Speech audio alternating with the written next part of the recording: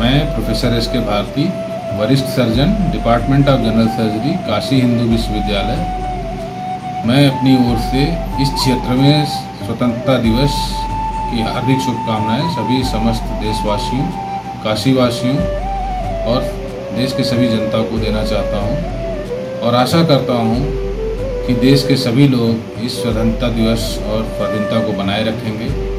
Jai Bhim, Jai Bharat.